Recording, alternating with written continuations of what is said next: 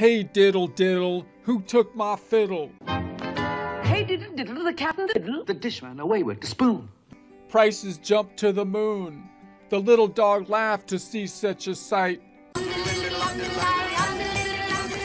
Which I had something to put in my spoon.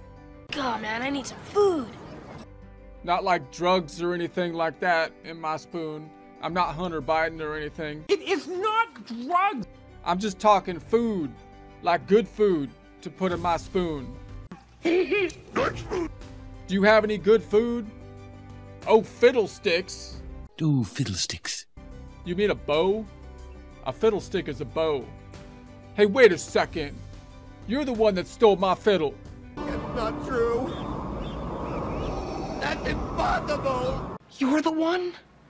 Search your feelings. You know it to be true. No!